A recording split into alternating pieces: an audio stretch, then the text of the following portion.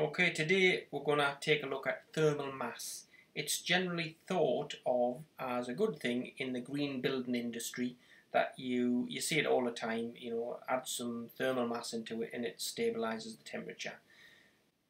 In this example, we're going to take a look at my dome, which has a 6 inch concrete slab on the ground floor. There's 100 millimeters of polystyrene insulation underneath that slab so that the heat doesn't go down into the ground. And the rest of the building has about 200 millimeters of insulation everywhere else.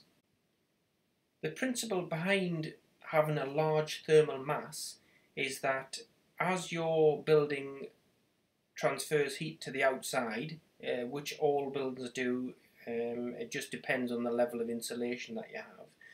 Uh, the heat slowly radiates out into the colder environment at night, but your thermal mass has a store of heat which releases into the building.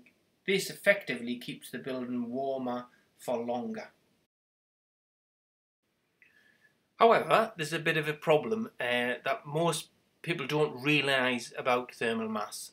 Uh, if we take a longer term cold spell and a passively heated building, so you don't have any other any form of heating in the building, what happens is that the cold outside eventually leaches into the building, so your building gets colder and colder. And of course, um, it get your thermal mass gets colder and colder and colder as well. So if you have a prolonged period of cold weather and dull weather, um, your thermal mass uh, tends to work as a store of cold rather than a store of heat. So when the building heats up, sorry, not the building, when the uh, the weather heats up outside, effectively your the building is now really insulated, and your thermal mass is cold, and your building's cold, and you've got good insulation, so it acts more like a fridge freezer than it does a cozy warm environment.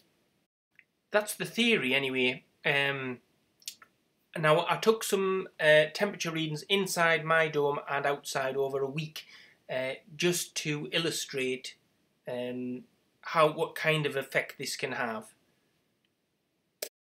Uh, the blue line is um, temperature in the dome and the red one is outside temperature. So you can see uh, the week starts here. This is about a week's worth of data. Um, we've got 10 degrees difference. Uh, the dome's totally unheated, totally passive, no additional heat whatsoever. So this is naturally how uh, the temperature difference between the dome. So it's it's based on the sunshine that comes in the window. There's no extra heat added. So we start we start off and um, obviously temperature drops. Um, this is this is the midnight mark. So in in between here is uh, midday, and you can see that um, after a cold start in the morning, by midday the temperature shoots up uh, to near the same as the dome. Uh, midnight again, temperature drops off uh, to almost its coldest point just after midnight and then it shoots up again. But if you notice in the dome, the, the rise is slightly after the rise, so uh, it takes a wee while. This is the um, uh, thermal mass is slower to warm up than it is. Uh, that's why you get the temperature doesn't start dropping in the dome for two or three hours after it started dropping outside. Uh, then we go along like this, but you can you also notice that the the dome temperature is constantly um, tracking towards out, the average outside temperature. We start with big variations, but you know 14, 12, 13, 14 degrees here uh, we don't get the, the maximum we get is 5 degrees over here and you can see that the dome tracks the temperature tracks down slowly. Um, the sharp rise of the outdoor temperature is is being um, evened out by good insulation and the thermal mass in the building.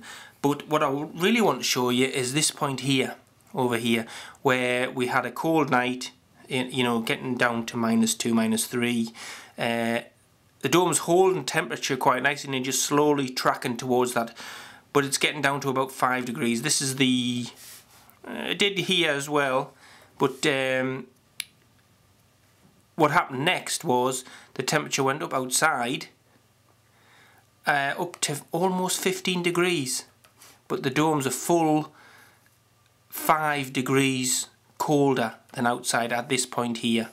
So at this point here um, it was warmer outside than it was in the dome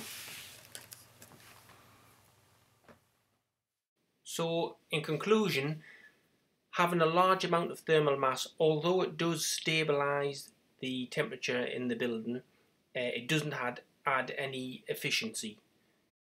However, if you can get some heat into the slab by using hot water pipes, something like that, you can increase the temperature differential and this is much more useful than relying on any kind of passive heat going into the slab my takeaway from this would be if you're going to go to the expense of putting large amounts of thermal mass into a building, shove some heating pipes of some sort in so that you can actively heat that thermal mass, which will give you far better performance.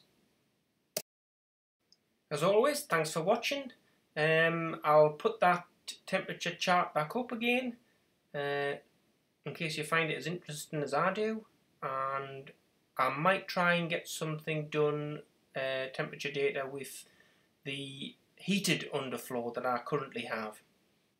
uh, if you've got any questions just shove them down in the comments. I'll see you later.